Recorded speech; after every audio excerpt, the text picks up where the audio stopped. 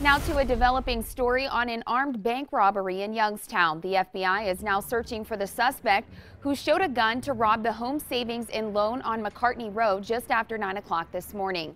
He's described as a black male wearing a navy hood and a blue bandana and aqua shoes. After the robbery, he ran off with the money. No one was injured. If you have any information, call Youngstown Police.